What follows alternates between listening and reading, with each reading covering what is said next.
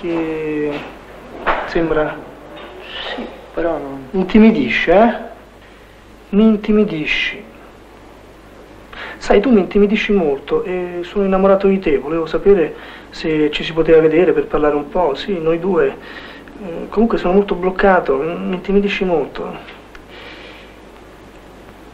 Sono innamorato di te. No.